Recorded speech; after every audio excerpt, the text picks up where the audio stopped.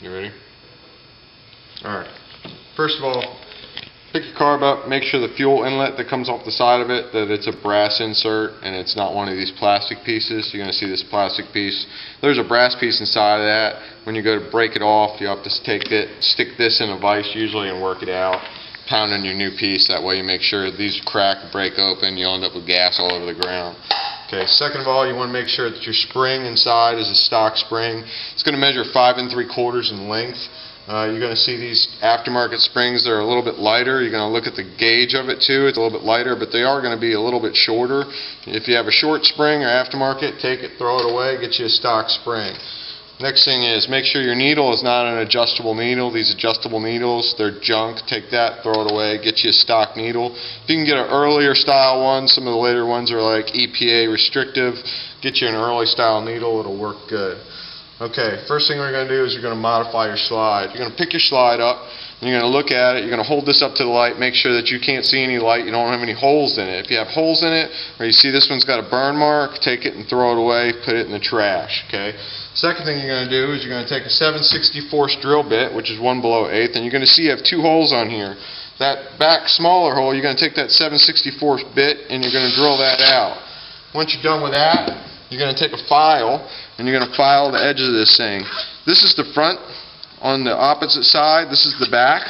The back side I'm just going to roll it off a little bit. The front side you can take and you can actually roll it over and file it. You don't want to roll it too much, but if you get it about 16th, 8th inch wide, file the bottoms of this thing, clean this all up, get all your burrs off. Make sure you get the edges here because this is where it's going to hang up. File that roll the edges a little bit. Once you're done with that, you can take a piece of steel wool, shine this thing all up. When you're done, you'll end up with a slide like this. It'll be nice and clean. You're going to see the edges are rolled. It's all nice and clean. This thing's going to flow really well. Okay. Once you're done with that, you can take that stock needle that you got, and you can get your two washers. You can use fender skirt washers from an FL. They work really well. These are about 30 thousandths thick. You're going to take those two washers and you're going to stick them over top the needle. Okay.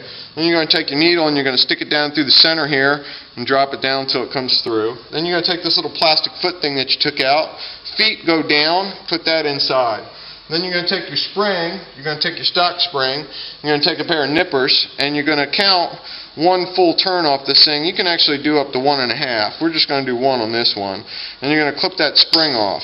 I'm clipping this off the aftermarket one because I've already clipped my own spring.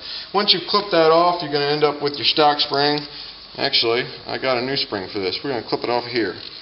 So we're going to clip one turn off. Now, the piece that you cut off, you want that to go up, not down, so that it goes towards the cap. You're going to take that and you're going to stick it in there, and then you're going to take your slide, and you're going to stick it in your car, but it's only going to go in one way. The small hole goes towards the back. Okay.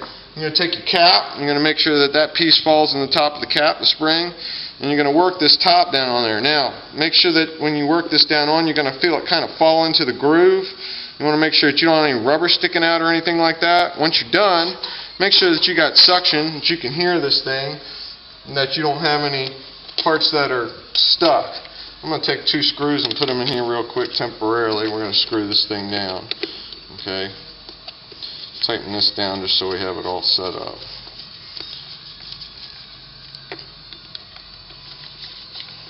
Okay. Now that we got that done, that's your slide modification. You're not going to mess with that top anymore. I'm not putting the bracket on it. You have to put the bracket on the side. Okay.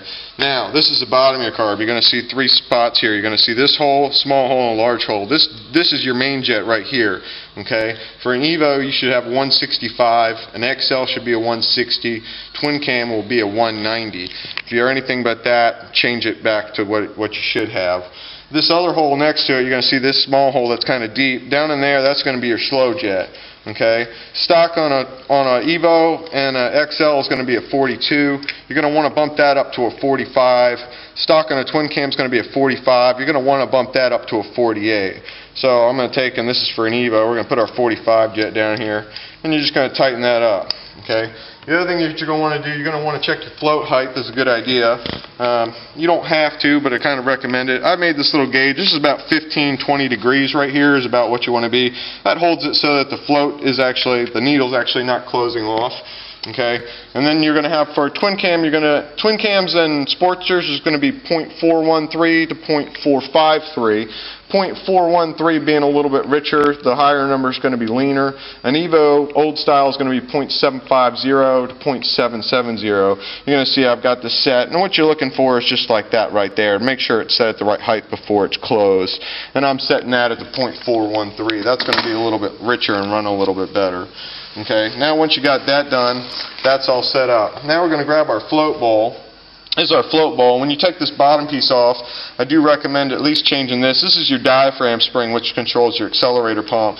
And that piece is going to sit in there just like that. You're going to have two O-rings sometimes here. Some of them only have one. Uh, replace that O-ring also. And inside here, when you take it apart, make sure you don't lose the spring. It doesn't come popping out on you. That spring goes just like that right there. And you're going to take this. Make sure your O-ring doesn't fall out. Make sure the spring's in there. You're going to take that, we're going to tighten that down to the top there. Okay, I'm just going to put a screw in here too just to hold it together for a little bit here. Let's show you and make sure that everything's set up. Now, some of these older float bowls, you have a check valve in the side of here. Some of the newer ones, you won't hear it. The older ones, like this one, you'll be able to hear it. I'm going to shake it as soon as I tighten it down. You just want to make sure that it's working. Afterwards, you can take some gas, we'll put it in there, pump it, and make sure it's actually working, you're not getting any leaks. But you can actually hear the check valve in this one. Okay. And once you have that done, the other thing I do is I take a square file like this, and you're going to see the head of the accelerator pump. You got that little hole where it comes out. I'm going to take this and put it on edge, and what I do is I actually just take it and then run it across the face of it. That's just going to kind of bevel the hole a little bit. It's going to make it squirt out instead of peeing out straight. It's going to actually squirt out and kind of atomize before um, goes into the cylinder. It's going to burn a little bit better. After you're done with that, you can take your accelerator arm right here and you can actually put it down in there. And this way you can actually pour some gas in there. You're going to have a little hole inside this bottom, so if you go pumping on this thing, it's going to squirt up in the air. But what I'm going to do is I'm going to take my finger and I'm going to stick it over inside that hole. When I'm done, you can just pump this thing until you see, until you see if you actually are getting any gas or you're going to see the, the gas coming out. You kind of got to pump it. Make sure your accelerator pump's working. When you know that's working, then you know that you're not going to have any problems you put this back together. It's going to run a little bit better. Okay? And once we're done with that, you're going to take, be able to put your float bowl on this thing. Last thing you're going to do is you're going to see this bung sticking off the bottom of the carb here sticking up off the top and what you're going to have in there most of the time is going to be this aluminum plug. I already drilled this out but that little aluminum plug is going to be right inside of there. Take your drill bit, you can use the same drill bit you used for the slide, 764, drill down and it's going to fall through. There's going to be an air hole in there. After you're done with that you can take and screw a machine screw inside that thing, take it down, put a pair of pliers on it, work that little plug out of there. Underneath there, you're going to have a little flathead screw, okay? What you're going to do is you're going to turn that screw in lightly till it just lightly seats. You don't want to turn it in too hard. If you turn it in too hard, you're going to buckle the inside of this carb. This thing's never going to idle right. Okay, so we're just going to turn that down until it just lightly seats. Then what you're going to do is you're going to back that thing out about two and a half turns to two and three quarters. Kind of re recommend two and three quarters with ethanol. Uh, gas doesn't burn too well. I'm going to adjust that up. Then once I put my float bowl on this thing, I'll be able to stick it back on the uh, back on the bike, and it's going to run absolutely great. You might have to adjust your idle a little bit because you change your fuel mixture, but other than that, you should be set up. Put your choke cable back in there, of course, and you'll be all set. All right. Appreciate it, Doc. Hope it runs well.